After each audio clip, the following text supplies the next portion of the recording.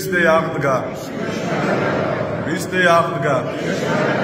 ქრისტე აღდგა. რაც უფრო მეტი კვირა გადის აღდგომის წინვალე დღესასწაულიდან მით მეტად უფრო იკლებს ეკო პასუხისა ჭეშმარიტად. იმიტომ რომ კლებულობს ორწმუნეთა რაოდენობა სამრევლოში. ეს ასე იყო ჯერჯერობით კიდევ ასეა და ღმერთმა დაგვიფაროს რომ კიდევ ასე გაგრძელდეს. მე ვერაფრით ვერ შევეგუე იმას და ვერავინ ვერ მიპასუხებს შეკითხვაზე, რომ ის ხალხი, რომელიც აღგომა ღამეს გაწმინდებული სახით გაყვიროდა, ქრისტე აღდგა და ჭეშმარიტად იყო პასუხი, სად არიან ახლა? ჯერ ხომ ამაღლების დღესასწაულის არ გვიზეიმია. ჯერ ხომ სულთმოფენობა არ მომხდარა. ქრისტე ხო ჩვენთან არის ამაღლებამდე და გადმოგვითარგმანებს იმ წმინდა სიტყვებს, რომელიც სახარებაში არის დაწერილი წმინდა ადამიანების მიერ. არ ვიცი, ალბათ მე ამ სოფლიდან ისი არ გავალო ამ საიდუმლოს არ ჩავწვდე და ვერ ამოხსნა რა ემართება ადამიანებს აღდგომის შემდეგ. რა ემართებათ? ლევანდელი სახარება შესანიშნავ პასუხს იძლევა ამ შეკითხვაზე. თქვენ იცით რომ დიდ მარხვას ქონდა მოსამზადებელი კვირები, თვითონ დიდი მარხის ყოველი კვირა იყო ძალიან საინტერესო და იყო ჩვენთვის აუცილებელი ცოდნა ამ კვირების შინაარსის, ამ წაკითხული სახარებების და მოგეხსენებათ რომ შემთხვევითი არ არის არც ერთი კვირა, არც ერთი დღე არც ერთი ლიტურგია, რომელიც აღდგომის წინვალე დღესასწაულის შემდეგ დაადგინა ღმერთმა. მეორე კვირა იყო თომას კვირა, კვირა ცხოვრობა, ანუ ეს იყო ერთა ეს არის ერთადერთი დღე, რომელიც არის პროლი და სწორი წინვალე აღდგომის. მეორე მესამე კვირა იყო მენერსასხებლე დედების და მამების ერთგული ადამიანების ხსენება, ამაზე თქვენ ქადაგება მოისმინეთ. და მეოთხე კვირა გახლდა გახლავთ განრღვეულის კვირა. სანამ წირვა დაიწყებოდა მე და ციგნის კითხველი მსჯელობდი რა უცნაური გომარეობა იყო თქვენ სახარება მოისმინეთ და თუ არ მოგისმენიათ სახში შეგიძლიათ მოისმინოთ აი ამ სახარების შინაარს. მსგავსი სახარება არ არის ეს ერთადერთი ადგილია სადაც აღწერილია რომ ქრისტე ადის იერუსალიმში დღესასწაულზე და იერუსალიმთან ახლოს იყო სხვათა სხვრების საბანელი ეს იყო ის სხვრები რომლებიც იკლებოდნენ ასეკის დღესასწაულზე და იქ იყო ძალიან ბევრი ხეიბარი კელობელი ყრუ ბრმა განრღვეული ანუ დღევანდელ დღეს ინვალიცრო ვეძახით და ელოდებოდნენ. დაუკვირდით შემოწირფასებო წელიწადში ერთი დღე იქნებ მოვასწრო ანგელოზი რო ჩამოგზანდება ზესიდან ვიღაცამ ხელი წამოვლოს იმიტომ რომ კელობელი კოჭი ხო თვითონ ვერ მივა? ხეიბარი თვითონ ხო ვერ მივა? განრღვეული ინვალიდი ადამიანი თვითონ ხო ვერ ჩავა წყალში? ერთადერთი ადამიანი ვინც პირველი ჩადიოდა ის ადამიანი იკურნებოდა აი ამ სნეულებისგან. და რა მოწყალია? მაცხოვარი მიდის იქ და ეკითხება ადამიანს, რომელიც სახელი არ არის ცნობილი, წელია რომ წერია რომ განრღვეული იყო. რომ რა გინდაო რომ რა გინდა? ღმერთი გეკითხება, ზოგიერთი რო იძახეს, ხო იცის ღმერთმა რაც მინდა? რაღა უნდა ვილოცო? არა, იცის, მაგრამ შუქი შენ უნდა ჩართო. ჩამთველი შენ უნდა ჩართო. კი ვიცი რომ ჭაღი კიდია, ვიცი რომ ელექტროენერგია არის, მაგრამ მე თუ არ დავაჭირე, ღილაკს თითი შუქი არ აინთება. ქრისტე ეკითხება განღვეულს რა უნდა უნდადეს ხე როგორ ფიქრობ? რა უნდა უნდადეს? კაცი არ ამყავსო. წარმოვიდგინეთ ესე იგი როგორი მიტოვებული ადამიანი რომ მოყვასი ახლობელი არ აღმოაჩნდა ადამიანს 38 წლის მანძილზე. ეს არა დღე არა კვირა არა თვე. 38 წელი ადამიანი ზის აი ამ ტბის პირას ელოდება რომ უკვე იმას კი არ ელოდება რომ ანგელოზი როდის გადმოვა როდის აიმყრევა წყალი იქნება ვიღაცა გამოჩნდეს რომ ხელი წამოვლოს და თუ არ განვიკურნებ იმას ხომ მაინც დავინახავ რომ ვიღაცას უყარვარ და ვიღაცას ვახსოვარ. ჩვენ რო გიყვარს ხოლმე რატო არ წერ რატო არ მირეკავ დამივიწყა ყველა მარავის არ ვახსენდები ეს ძალიან ნაცნობი მდგომარეობაა ჩვენთვის აი ამ ადამიანთან მიდის ქრისტე. და ეუბნება რა გინდა რომ გავაკეთო და მოგეხსენებათ ეთქვის რომ აღდეკ აღიღეც ხედარი შენი და გაიარე. ეს სამი კურთხევა სამი ბრძანება ყოველთვის გახდა. ძალიან ცუდად რო ხარ. შეწუხებულები სევდიანები და დარდიანები ეს სიტყვები ყოველთვის ყურში გესმოდეს აღდეკ აღიღე შენი სხედარი რომელიც პარალიზებულია ღმერთის გარეშე და გაიარე. არ გაჩერდე. გაიარე. დგომა ცდომა მგზავრისა ზანებს გურამიშვილი. თუ რუსთაველი მაპატეთ შეიძლება მეშლება რა მნიშვნელობა აქვს ამაშია თელი სიბძნე არ გაჩერდე. იარე არ დაწვე არ ჩალოგინდე არ შეგეშინდეს. იმიტომ რომ ღმერთი მოვა შენთან შენ კი ვერ მიდიხარ ღმერთი მოვა და გეტყვის რომ რა გინდა?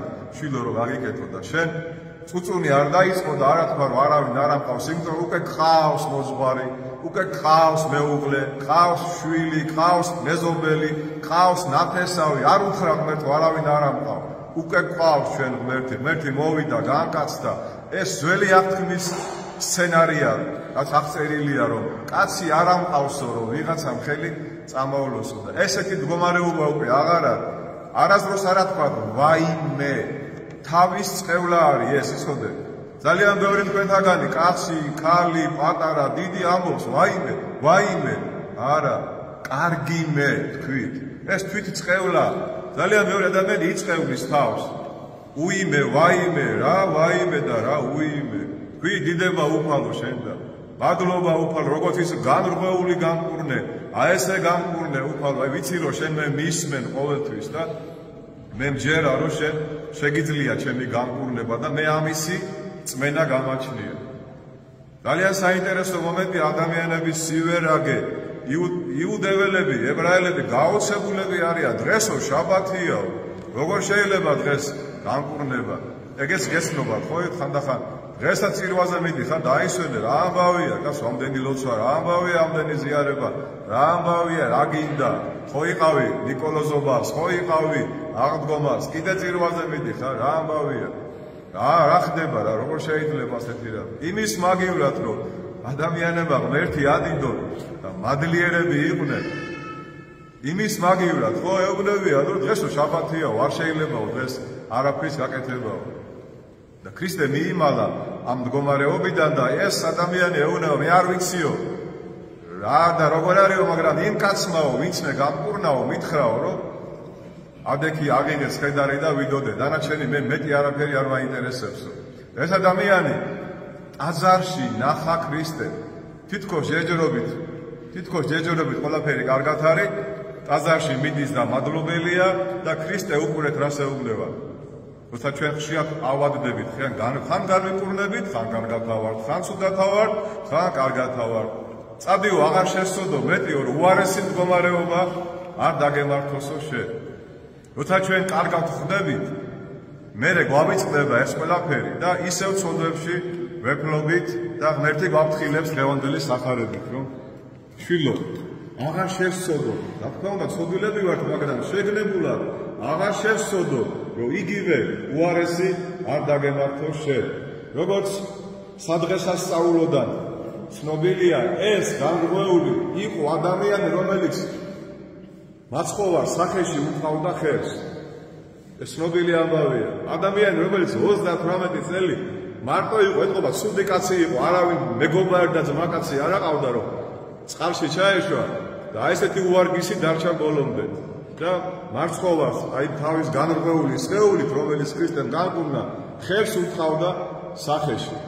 აი ესეთი უმადურია ადამიანი და რატომ განაჩინა ეკლესიამ ასეთი ცუდი კაცის მოხსენიება დღევანდელ დღეს. ჩვენ რომ მამაოჩვენოს ვამბობთ, ეს მამაოჩვენო არის თარგმნილი ძველი ბერძნულიდან. მაგრამ არსებობს მამაოჩვენო არამეულად. არამეული არის ეს ებრაული ძველი ებრაული დიალექტია, რომელ ენაზე საუბრობდა ქრისტე. იცით რა წერია? ამ მამაოჩვენოში არამეულად. ჩვენ რომ ვამბობთ რომ გვიხსენ ჩვენ ბოროტისაგან იქ წერია. გვიხსენ ჩვენ აწმყოში არ ყოფნისაგან. ანუ აწმყოში უნციფარობისაგან. ახლა კარგად დაუკვირდით. ნახევარი საქართველოს ცხოვრობს უფრო დიდი ადამიანები წარსულით, რა კარგი იყო, რა კარგი იყო, რა კარგი იყო ის საბჭოთა კავშირი, ახალგაზრდები ცხოვრობენ ლუჯ ფონზე წითელი ვარსკვლავებით, აი ესე იქნება, აი ესე იქნება, აი ესე იქნება, აი ესე იქნება. ორივე ბოროტისგან არის. აწმყოში არ ყოფნა, ეს არის ბოროტებაში ყოფნა. ეს არის კვლელი მდგომარეობა ბედნიერების. სულ წარსულზე ფიქრი, ასე იყო, რა კარგი იყო და შიში მომავლისა. ვაიმე რა გოშველება, ვაიმე რუსეთი, ვაიმე ერთვარ შევედით, აქ თუ ეს ვარ გავაკეთეთ, ისე იქნება და ასე იქნება, სად არის აწმყო? სად არის აწმყო? სად ახარ შვილო შენ საქართველოს გადარჩენა რო გინდა? სად ახარ ახლა? რატო არ დგახარ და არ მისმენ? რატო არ უსმენ სახარებას? რატო არ იცი დღეს ვისი ხსენება? რა ხდება? რატო არ იცი ექვთიმი ათონელი ვინ იყო? ბავშვობიდანვე ეს ადამიანი მამამისმა ათონის მთაზე წაიყვანა ჯერ ულუმბოს მონასტერში, შემდეგ ქართული დაავიწყდა. და მამამისი ევედრება ღმერთს, დედა ღვთისმშობელს რომ უნდა რომ შვილმა ქართულ ენაზე იმეთყველოს და საკმეული სუნი მოსდის ექვთიმე ათონელის კელი ოთახიდან და შედის და ხედავს რომ ბავშვი მეტყველებს ქართულად, ხსნილად, როგორც წერია. რომ დედა ღვთისმშობელი გამოეცხადა და უთხრა რომ ექვთიმე უკვე ქართულად შენ ხსნილად მეტყველებ. აქ მარტო ქართულ ენაზე კი არ არის ჩემო ვიფასებო საუბარი.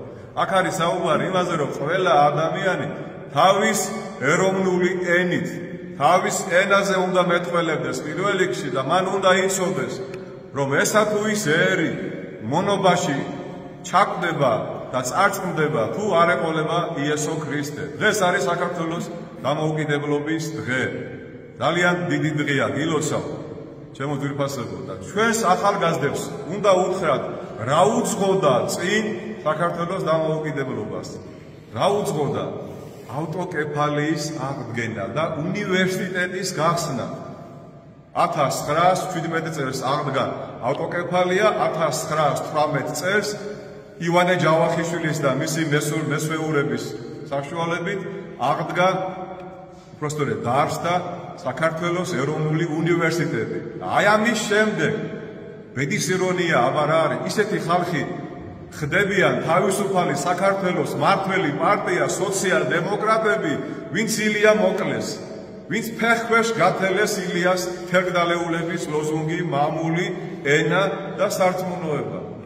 კირიონი მიდის ახლად არჩეულ მთავრობასთან და იკითხება კირიონი ცაზაგლიშვილი ეს არის პირველი კათალიკოს პატრიარქი ავტოკეფალიური ეკლესიის და ეკითხება ნოე ჟორდანიას მთავრობას.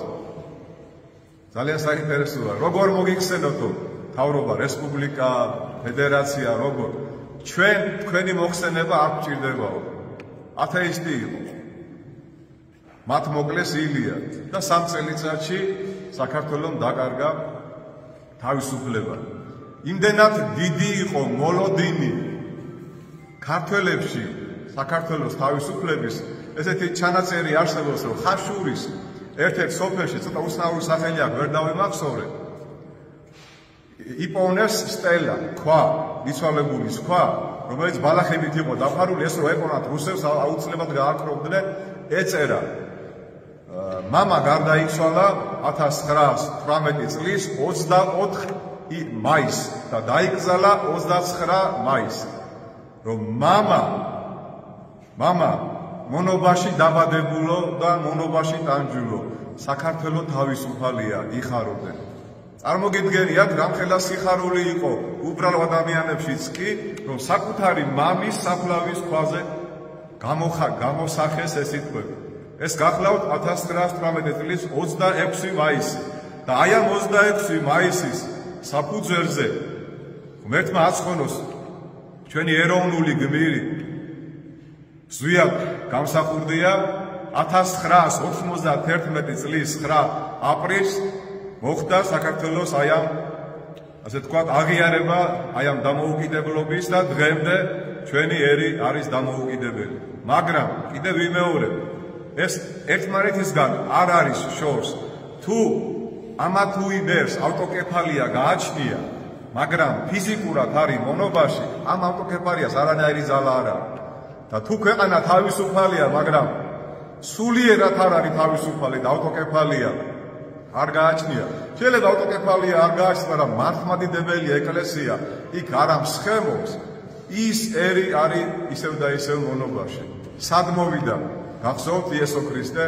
იესო ქრისტე მოვიდა რომაელი რომის იმპერიის მიერ ოკუპირებულ პატარა პალესტინის ტერიტორიაზე. ხალხი, რომლებიც იყვნენ მოლოდინში მესიის, რომლებიც 24 საათი ლოცულობდნენ, რომ გაბან თავისუფლე მონობიდან არ გვინდა მონობა, ქრისტე გააკრეს ჯვარზე ამ ხალხმა.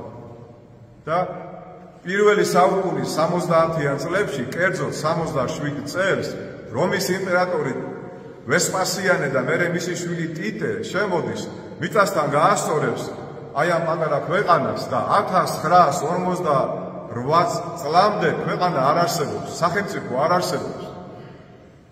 ეხაც არ აღიარებენ მეორე ებრაელები, იმიტომ რომ სტალინის და გაეროს ნებართვით შეიქმნა ეს სახელმწიფო. ისინი აღიარებენ სახელმწიფოს დამოუკიდებლობას მაშინ, როცა მასიახი მოვა მათთვის, ასე ვთქვათ, მესია. და ჩვენთვის ხო მოსულია მესია. ჩვენ ხო გწამს რომ იესო ქრისტე ჩვენი მხსნელია. ძალიან ვცდილობ რომ არ შევეხო არსებულ მოვლენებს თანამედროვე რეალობაში, უახლოეს ისტორიაში რაც ხდება, მაგრამ ძალიან მოკლედ გეტყვით და ყველა ახალგაზრდამ და ძველმა გაზდამ დაიმახსოვრეთ. თის შობლის წიგხვეთ ჩვენ საქართველოს აწდა მარაზდის ქრისტეს გზით ევროს.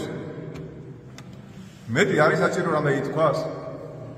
თის შობლის სირხვედრია საქართველო, როგორც დედაქალაქი კიევის უკრაინა, როგორც დიევოს ამათა მონასტერი მოსკოვში და ათონის ნახევარი კუნძული.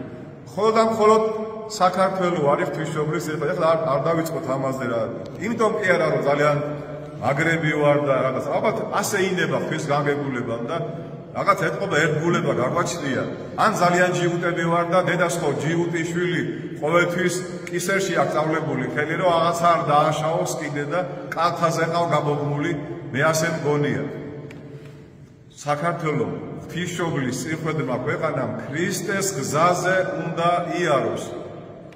ჩვენ გვინდა რომ აღარ ვიყოთ რუსეთის მონობაში.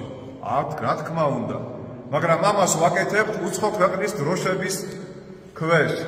ოდესაც შენ გინდა რომ შენი ქვეყანა იყოს თავისუფალი, რატო გიჭირავს ამერიკის დროშა? რატო გიჭირავს შენ რომ არ ახარ წევრი იმ კავშირის დროშა? რატო გიჭირავს? ეს ითით რას ნიშნავს? რომ შენ ქვეყანა, შენი ქვეყანა უკვე რაღაც ვასლურ დამოკიდებულებაშია იმ რაღაც კავშირთან. ამ კავშირება რა მოგვიტანეს? ხო დავინახეთ ერთხელ და სამუდამოდ. რა მოგვიტანა საბჭოთა კავშირმა? მერვე კლასში საბჭოთა კავშირის სამართალს რომ სწავლობდი და წავიკითხე რომ საბჭოთა კავშირის 15 რესპუბლიკა არის ყველა სუვერენული სუვერენული სახელმწიფო. ყველას შეუძლია ნებისმიერ დროს გავიდეს საბჭოთა კავშირის წევრობიდან. мама ჩემს ვეკითხები, мама მეთქი, ნახე რა წერია მეთქი. იმისი გაუცებული სახე ხას მახსოვს, რომ მე მე მე შვილო. ესე იგი ჩვენ შეგვიძლია მეთქი რომ გავიდეთ საბჭოთა კავშირიდან. კი, мама თეორიულად ხო, მაგრამ რაღა მაგრამ რაღა მაგრამ მითხარი. აი ესეთი ხაფანგია კიდე ის რაღაცა კავშირები და რაღაცა ვარსკვლავები. თორე რატომ მას არ უნდა ქონდეს ევროპასთან ურთიერთობა? ინგლისთან, იტალიასთან, ესპანეთთან, ცალ-ცალკე როგორც სახელმწიფო სახელმწიფოსთან. რამდენი განათლებული ადამიანი ყავს, ინდა სპორტსმენი, ინდა მეცნიერებაში და ასე შემდეგ.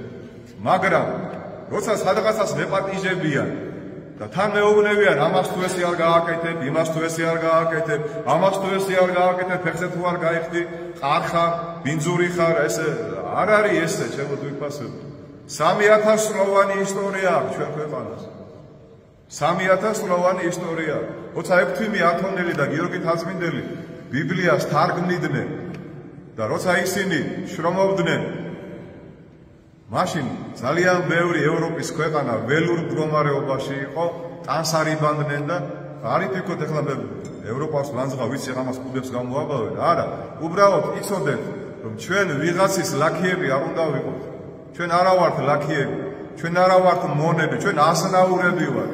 ჩვენ ქრისტემ გაგვანთავისუფლა და ვიყოთ რატო ჩინეთს არავინ არ ახსნებს? რატო ჩინეთის დროშა არ აფრიალებს? გითხარით ჩინეთმა თელი მსოფლიო დაიფრო თავისი უხარისხო ნაწარმით. თელი მსოფლიო ამერიკას დაპყრობილი ყავს ჩინეთი თქვენ ეს. ამერიკა სულს გაფავს მისი ეკონომიკა ფაქტიურად განადგურებულია. იცით ამას რომ გიმალავეთ თქვენ. რატო არავის არ გვინდა ჩინეთისკენ წავიდეთ და ჩინეთთან კონდეს ურთიერთობა? ჩინეთი არასდროს არ გაგაჩინელებს შენ. არასდროს არ ჩაერევა შენში და პოლიტიკაში. არ აინტერესებს და იმიტომ იმდენად ძლიერი და იმდენად ძლიერი სახელმწიფოა მე მინდა რომ ჩინეთთან კონდეს საქართველოს მეგობრობა არავინ არ ახსენებს რატო იმიტომ რომ კიდევ კაკანათია დაგებული ჩვენ წინ და კიდევ რაღაცას მიგვერეკებიან ჩვენ არა ჩვენ შვილებს ღმერთმა დალოცოს ის აღავგაზები იქ ჩემი შვილიც არის. მე არ ვაკენებ იმათ შეურაცხყოფას. ისინი ძალიან გულს გულ ანთებული და შემართებული ახალგაზრდები არიან. მაგრამ მე რატომ ასწრებ შვილო წინ? როცა შენზე მეტი რაღაცა მინახია ამ ცხოვრებაში. შენზე მეტი მინახია, შენზე მეტი ნილოცია, შენზე მეტი გამოცდილება მაქვს. რატო არ მეკითხები? мама, შენ რატო არა ხარ აქ? ვიხავი ადრე, მაგრამ რა მივიღე იმის მერე? ესენგეში მიიღეს საქართველოს 9 აპრილის მერე, იცი? ესენგეში შეგვათრიეს პირდაპირ, იმიტომ რომ ინსცენირებული იყო რუსეთის სპეცსამსახურების მიერ. რა გამორიცხულია, რომ კიდევ იგივე სპეცსამსახურები არაკეთებდნენ ამ სპექტაკლებს, ეხლა რაც დადგმულია კიდე. არ არის დადგმული? თანხა არ იხარჯება? ეხლა არ მითხრათ, რომ ეს ყველაფერი არის ესე ესე ბუნებრივი მოვლენა. არა. კიდე ამ ყველაფერს ხავერდოვანი რევოლუციის სუნი აზდის და ეს ჩემ ქვეყანას გაანადგურებს. მე ის ბავშვები აკეთებით გაიფანტებიან და მე ჩვენ უნდა არ ვიომოთ ან კიდევ მე რა ვიცი ხელახლა უნდა დავიწყოთ შენებლობა თუ ჩვენ ხელისუფლება არ მოგწონს არჩევნები მოვა ხალხო და მივიდეთ არჩევნებზე და დავაფიქსიროთ ერთხელ და სამუდამოდ ხო შეიძლება რომ ცივილურ ფორმაში მოხდეს ცვლილებები და რაღაცა წინსვლა არ შეიძლება შემოძირფასებო ჩვენ ქრისტეს მოყარული ერი ვარ ჩვენ ამდენი ხანია ვარსებობ ჩვენი ქვეყნის საფუძვლები ფარნავაზის და ქუჯის ურთიერთობაზეა დაფუძნებული. ასეთი რამე არც ერთ ეროვნებაში არ ყოფილა, რომ ერთი ძლიერი დასავლეთ საქართველოს მეტი გავლენები ქონდა ქუჯს ვიდრე ფარნავას. უთხრას, რომ სახელმწიფო სახელმწიფო იყო ძლიერი, რომ მოდი შენ იყავი მეფე და მე შენი ვასალი ვიქნებიო. ქრისტიანობა ამ დროს არ არის. იცით თქვენ ესეთი რამე სადმე მომხდარა? ქრისტიანობამდე ქუჯი, რომელიც უფრო მეტად გავლენიანი პიროვნებაა საქართველოს, მაშინ დიაოხა და კოლხა იყო და უთმობს ასპარეს, როგორც ნათლისმცემელი ქრისტეს, რომ შენ მართე ქვეყანა და ქვეყანას ერთი მართველი უნდა ყავდეს და ერთი ძლიერი მეფე უნდა ყავდეს. ასეთი სახელმწიფოს მქონე ქვეყანა ვარ. ასეთი ადამიანები ვარ და რატომ უშვებთ კიდევ შეცდომას? რატომ გვინდა კიდე შეცდომები დაუშვათ? მე ძალიან მინდა ვინმე საგიგიათ რომ რუსეთში სწავლობდეს ჩვენი შვილი, ადრე კი მეღვინეობაზე, რაღაცა სწავლობდნენ ხოლმე. ეხლა ჩვენი შვილები და თქვენი შვილები აპირებენ ამერიკაში და ევროპაში სწავლას. ძალიან კარგია, მიხარია, მაგრამ მაგრამ ნუ მიყურებ ზევიდან ნუ გონი ვარ, ნუ მირტყავ თავში და ნუ მასწავლე ჭკას და ნუ მეუბნები რომ ესე გააკეთე და ეს არ გააკეთო. ეს არის თავარი ფასეულობა, ეს არ არის თავარი ფასეულობა. თუ აი ამ ადამიანებს, რომლებიც დეგრადირებულები არიან და საშინელ შოდვაში ცხოვრობენ, თუ მას მიიღებ და ვისემ კოლიდორს რომ აღლუმი ჩაატარო, მიიღებ. და თუ არა რატო ვერ გავიგე, ისი არ მიმიღებს ედალოცილო? ისი არ შეიძლება რომ მიმიღო. აი ზა მაინც აი ამ ადამიანებს არა ჩვენ არ მეჩხუბები. ჩვენ მათ არ გვეზიზღება. მეწოდებიან. ისინი ცოდვილი ადამიანები არიან და შენ მეუბნები რომ ეს ნორმა არისო. ამას რომ ჩემი შვილი დაინახავს, მომავალი თაობა რომ დაინახავს რომ ეს ვიღაც გრიგორიადისი ლაზარე გრიგორიადისი თვალები დახატული რო აქვს და საფურები უკეთია. ეს რო გმირია მეუბნები, ჩემი შვილიც იგივეს გააკეთებს მერე. და მომავალი ჩვენ არ გვეხება ეს, მაგრამ მომავალი თაობა იტყვის რომ თურმე ეს რაღაცა გადახრები თურმე ჩეულებრივი ამბავი ყოფილა, შეგიძლია რომ ეს ყველაფერი ასე იყოს. არა, ეს არის ღალატი ქრისტესი. ეს არის სოდვა. დადგებაო დრო. ანტონი დიდი ამბობს რომ ხალხი ისე გადაგვარდებაო. იმდენ ბევრი იქნებიან ისინი რომ ვის ნორმალურები დარჩებითო გეტყვიან თქვენ ახალ არანორმალურები, იმიტომ რომ ჩვენაირად არ არ არ გამოიყურებით და ჩვენაირად არეული ორიენტაციის არ ახართ. ეკლესია ჩემო ძვირფასებო ყოველთვის დგას სახელმწიფოს სადარაჯოზე დედა ეკლესიას უნდა მშვიდობა დედა ეკლესიას უნდა ქვეყნის განვითარება დედა ეკლესიას უნდა ჩვენი შვილების კეთილი მომავალი დედა ეკლესიას უნდა რომ ხელისუფლება რომელიც არსებობს უყვარდეს ხალხი და ხალხს უყვარდეს ხელისუფლება. რატომ არის? დაფიქრდეს ჩვენი ხელისუფლება. რატომ არის ხალხი ქუჩაში გამოსული? ესე იგი შენი ბრალია ხო? რაღაცა რაღაცა გეშლება რაღაცაზე არ ფიქრო. ხო შეიძლება. შენ ხო ფიცი დადე. შენ ხომ შეპირდი ამირჩიე და ამას გავაკეთებ და იმას გააკეთე შენ დალოცილო მე გააკეთე რამდენი ხალხი აღარ გამოვიდეს ქუჩაში. დავიღალე. ნახევარი საუკუნეა ცხოვრობ და სულ ქუჩაში ვხედავ ხალხს. სულ არეულობა სულ მიტინგი სულ რაღაცა უცხო დროშები. თუ რაღაცას მინექანებია ილია ჭავჭავაძის დევიზი გაიხსენებ მამული ენა და სარწმუნოება. ჩვენი თავი ჩვენვე უნდა გვემყუდნოდეს მაშინ არ ვიქნებით ჩვენ თავისუფლები არც სულიერად და არც ფიზიკურად ჩამოდის კაცი და ამბობს რომ თქვენ გინდათ მართლმადიდებლობით შორს ასვლა? ეხლა არ მითხართ რომ რაღაცა აბრალებო ან რაღაცა. აღარ ვიძახი იმას რომ ხალი ატარებს რაღაცა რიტუალს ორ კაცზე. აი ეგეთი ეკლესია გინდათ ვინმეს კაცო. მაგრამ ევროპაში საბერძნეთიც არის ათონის მთაც არის სერბებიც არიან რუმინელებიც არიან. არ არ მიყვარს ესე სამხრივი აზროვნება არავის არ ეგონოს რომ რუსეთი მართლმადიდებლურია და ჩვენი მოძმეები არიან. მე არავის არ მახსოვს რუსებისგან რამე კარგი ჩვენს ქვეყანაზე. მე გამახსენეთ მე რამე კარგი. მაგრამ ვაის გავეყარე და უისე ვეყარე ხო არ გვინდა რა ყველას რო ჭირდებით ვასლებად ხო ჭირდებით ხო ნახეთ ხინკალი მოვახვიოთ ვიცეკო ვიმღეროთ რა კარგი ხალხი ვართ არა? არა. ჩვენ მეცნიერები გვყავს უამრავი ჩვენ კარგი სპორტსმენები გვყავს ჩვენ კარგი ექიმები გვყავს ჩვენ კარგი მგლები გვყავს. ჩვენ წინ უნდა წავიდეთ და უნდა ვიყოთ ყველასთან მეგობრულად. ვისგანაც რამე კარგის აღება შეიძლება ავიღოთ. მე ვერ ვიხსენებ რა შეიძლება კარგი რუსებისგან აიღო მაგრამ ევროპისგან შეიძლება დღეს კიდევ რაღაცა კარგი ისწავლო. გამრჯეობა შრომის მოყარეობა დოვლათი ბარაქარო დააგრო ჩვენ შევიტანოთ ქრისტიანობა დავაბრუნოთ ქრისტიანობა ევროპაში ხო შეიძლება? რომ ასე მიმიღოს ვიღაცა მაგრამ კაცი იძახის რომ შენ ჩემთან რომ მოდიხარ ქრისტიანობით გინდა მომავალი კონდესო უკვე მიკეტავ შენთან ურთიერთობას. რატომ მეუბნები მაგას? იმდენად გძულს მართლმადიდებლობა რომ მეუბნები რომ მართლიო პარტიაო ახლა ურთიერთობაშია. მართლმადიდებლობასთან და რა მომავალი გინდა თქვენ რომ კონდეთ. არ ვიგონებ მან თქვა ხო ეს ყველაფერი ეს ნიშნავს უკვე რომ შენ ჩემთანო არ გექნება ურთიერთობა თუ მართლმადიდებელი იქნები ისევ და. მართლმადიდებლობა საქართველოს მოაცილეთ რა დარჩება მე ნახავ თქვენ. რა დარჩება? არაფერი არ დარჩება შემოგვიფასებო ამიტომ ვიდგეთ მткиცებ და შეურყევლად ვიდგეთ 6 ათონელის შემართებით ვიდგეთ გიორგი თაცმინდელი შემართებით, ეხთიმე ღვთის კაცის შემართებით, წმინდა ილია მართლის შემართებით. არა ბძულდეს არავინ. არ ვიჩხუბოთ არ განვიკითხოთ მიტინგებზე აღარ გავიდეთ და ცივილური ფორმებით ავირჩიოთ ხელისუფლება. რო აგირჩევ იმუშავე ისრომე ილოცე და აღარ მოხდება არეულობა აღარ მოხდება ეს ყველაფერი.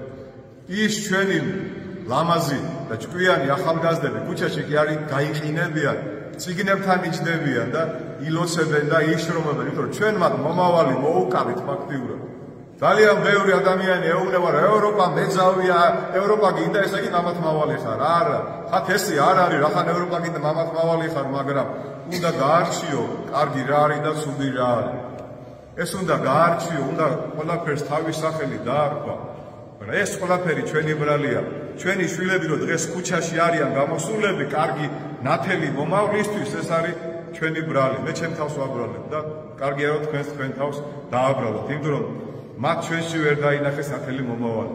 მათ ვერ დაინახეს ჩვენში იესო ქრისტე. მათ ვერ დაინახეს ჩვენში სარწმუნოება. ატო არ დადიან. სანამ პატარები არიან, დაგხავს და მე მე გაგვიში ხელი და გარბიან, ხო? აი ხლა პატარა გაბრიელი დგა და მიხარია რომ უყურებდა ღმერთმა დაიპაროს რომ გაბრიელი აღარ მოვიდეს წირვაზე ეს მისი მშობლების ბრალი იქნება და ჩემი ბრალი იქნება რომ გაბრიელი წირვაზე აღარ მოვიდეს აი პატარა ადრიანე რო ეზიარა ხო პრობლემები აქვს ამბავს, რაღაცა პრობლემებია ოჯახში, მაგრამ ესეც ჩვენი ბრალია. თუ ოჯახები არ იქნება მტკიცე, თუ ჩვენ კარგი ქრისტიანები არ ვიქნები, ჩვენ ქვეყანა შემოგვიფასებო, გინდა ამერიკისკენ წახვიდეთ, გინდა ევროპისკენ, გინდა რუსეთთან დავრჩეთ, არაფერი არ გვეშველება, იმიტომ რომ ჩვენი ცხონება და ჩვენი არცხონება ჩვენზეა დამოკიდებული და ბოლოს გეტყვით ძალიან მარტივად რეზიუმესავე. ყველა საინტერესებს ბუნებრივია სად არის 64 და სად არის ჯოჯოხეთი და ყველაზე კარგად იოანე ოქროპირი ამბობს რომ 64-ს და ჯოჯოხეთით ქვეყნის სიღრმეშიაო და 64 არისო უფალო იყოს ნებაშენი და ჯოჯოხეთი არის როცა ღმერთი გეოვნება ადამიანო იყოს ნებაშენი 64 იქნება მაშინ და კარგად ვიქნები თუ ჩვენ ვიტყვით რომ უფალო იყოს ნებაშენი და ჯოჯოხეთში აღმოჩნდებით როცა უფალე გეტყვის. კარგი შვილო იყოს ნებაშენი. ჯოჯოხეთი არსებობს იმიტომ რომ ეს არის ადამიანის გადაწყვეტილება. ადამიანს უნდა რომ ჯოჯოხეთში იყოს და მეტი არაფერი. და თუ ჩვენ გვინდა ათელი მომავალი უთხრათ უფალს.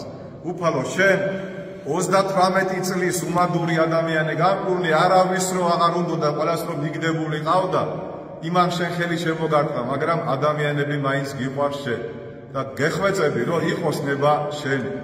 იყოს ნება შენი. ერთხელ და სამუდამოდ ჩემი ქვეყანა გაამთლიანე, გააძლიერე, დააბრუნე აფხაზეთი, სამაჩაბლო, საინგილო, ყველა დაკარგული ტერიტორია. და ერთხელ და სამუდამოდ შვიდობიანად ვიცხოვროთ ამ თიშობლის წილხვედ ქვეყანაზე. რა ვიცი, მაპატია ცოტა ემოციურად ვისაუბრე, მაგრამ ეს რო არ მეთქვა მე არ შემეძლო უბრალოდ რა. ერთმა დაგლოსოთ ერთმა გაგახაროთ. რავალ დამოუკიდებელ რავალ დამოუკიდებლობის დღეს დაგვასწროს ღმერთმა და ვიყოთ მართლა დამოუკიდებლები ცოდვისგან, ნებისგან და ყოველგვარი ბოროტებისგან. ჩვენთან არც ღმერთი